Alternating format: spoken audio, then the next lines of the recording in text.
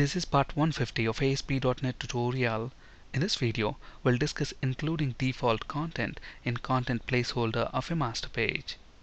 A content placeholder in a master page can include default content. Let's understand this with an example. Let's first add a master page. Let's call it site.master. Notice that we get two content placeholders, one in the head section and another within the body section. Let's get rid of the content placeholder from the head section. And notice that at the moment we don't have any default content within this content placeholder, but let's specify some default content. Let's say this is master page default content. Now let's add a content page.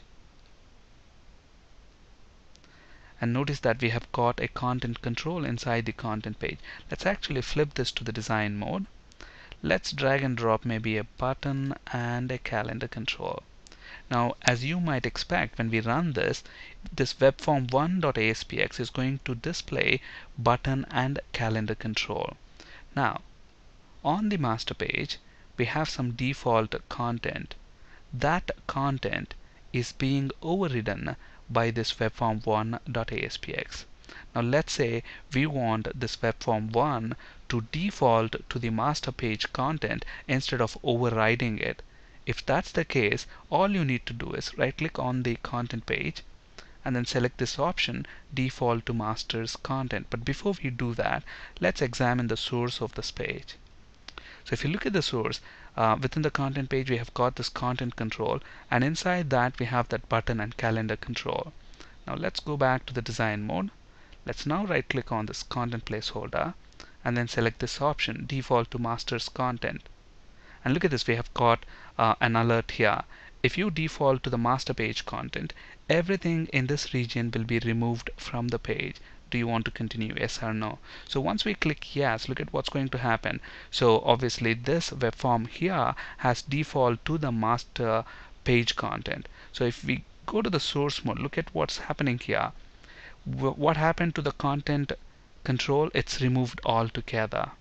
Okay so if you want the content page to default to the master page default content then all we need to do is remove the content control from the content page. So obviously now as you might expect if we run this what's going to happen? Instead of displaying button and calendar control it's going to display the default master page content. Now you may be wondering where is this feature useful? In reality your master page can include multiple content placeholders. And there may be one content placeholder you know which is overridden only by one or two pages in your entire project. If that's the case for that content placeholder you can specify some default content which will be used by all the other pages.